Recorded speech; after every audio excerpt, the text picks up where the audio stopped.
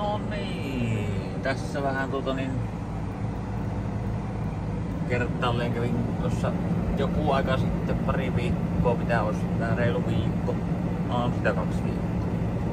Kävin kärkiaudolla, nivelaudolla aukaisemassa tämän tien kertaalle ja nyt sitten läksin vähän levittämään tuossa joutessa, niin ajattelin, että jos ei tässä muutakaan tekemistä on, niin kokeillaan, saisiko vähän penkkoa levitettyä. Ja nyt ei ole nivelauda keilossa, vaan on tuommoinen Pamekon valmistama perhosaura.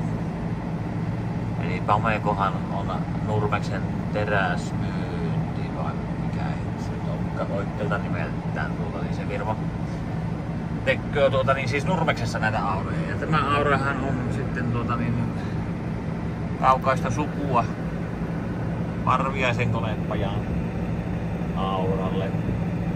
Just ajateltuna niin kuin tämän kelluntasysteemin kannalta ja sitten no siinäkö se varmaan se yhtäläisyys on. Niin auran muoto sinällähän on ihan erilainen mitä Parviaisen Parviaisen tuota niin pajan auroissa oli silloin, mutta tuota tuota. Kyllä se sitten jotta sitä lunta vähän työntää tuonne penkalle päin. Mulla on tuolla linkko vielä perässä sitten. Siitä kuitenkin tuota... Vittu kun sitä on eessä tuota törkkyy niin paljon. Sen verran pyöryy takaisinpäin kuitenkin tuosta tuota lunta, niin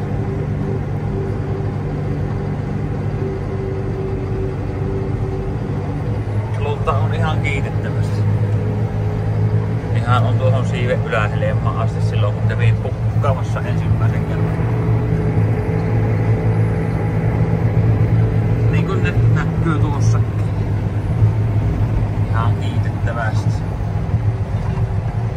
Katsotaan miten tämä onnistuu.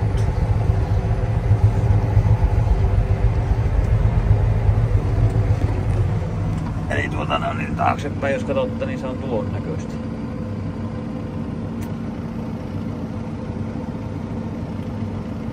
Siinä on semmoista pakkasluunta. Tuommoista paakkua. Paakkuna lähtee. Ja tuota, tuota, tuota. Mitäs sitten? Tämähän aura on tuota 36. Kuusko se on? Niinku koko pittuudelta. Sittenpäs takki. Kiinni. Käydään tuolla pihalla kahdelemassa ihmettä. 366. Kolme. Vähän saisi niin eri kulmassa. No en tiedä. Mutta luntahan on ihan kiitettävästi. Tämä auran tämä siipi tästä on niinku mulle tähän kylykiluitte kylykilu, kyleessä ajateltuna niinku kylykiluitten tuohon johon niin sauma. Et onhan tässä niinku korkeutta tällä auran siivelle. Mutta eihän se ennen sitten kun tätä lunta on näin paljon, niin hirveän kauas sitä lennä hammasterä on siellä jo. Korveksen teräsmyynti. Made in Finland. Semmonen. Semmonen juttu. Ja siellähän on toinen sitten vieska siellä Perssissä. Perssissä on vieska. Ja tuota niin. Onhan sitä lunta. Lunta on ihan kiittävästi. Tuon verranhan se niinku tulloo tuosta sivulta sitten niinku ojan piele. Tuolle se, kun se on niinku nyt niinku kappeimmillaan. Nyt sit jos sen kääntäis poikkiteloin tuohon tielle, niin sehän on sitten se 366. Linko on 285. Ihan tuo lähtee tuolta pohjia myöten. Se kohta kevät tullo, niin kuivaapahan tämä hittien pohja sitten nopeammin. Tai sitten ei kuiva. Niin.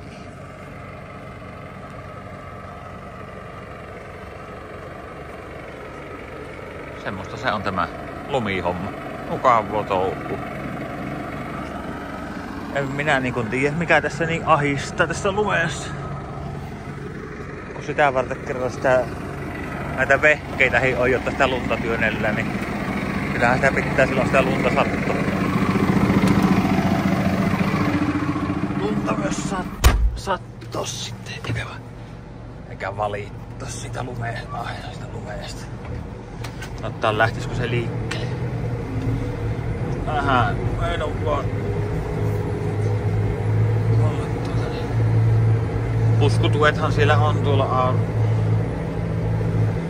aika tiukka vienti. Ja sinne se vaan.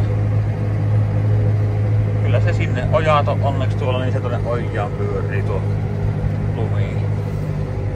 Vittetti nytpä se elät jähtää tuo pyörimään.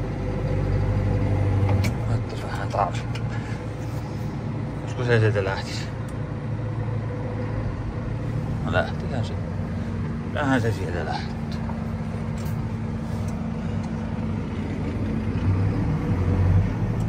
Koska meidän aukosta tuo toinen lunkku. Lunkku, lunkku. Vähän tuo lähtö ihan tuolta näkyy. Pohjoa myöten kuitenkin.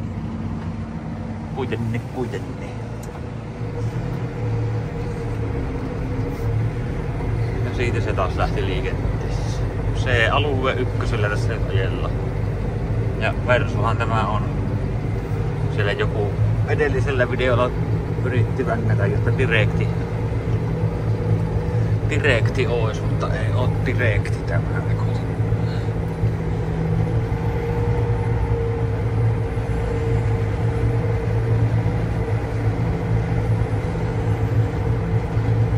Näinkö ylämäistä piässä?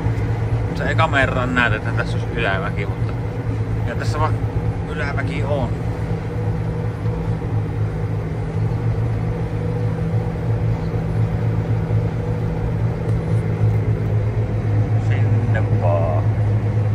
siinäpähän on nyt Pääkkösellekin Nurmekseen te laitettu linkki, kunhan vaan tämän videon tulee tuujuuppiin, että kahtele sieltä mitenkä se valmistettu aura skulaa. Vähän on tuota, pitäisi olla nyt kaksi kättä ja Black and Deck. Tuon näköinenhän se on. Se on samanlainen suunta ja toissa.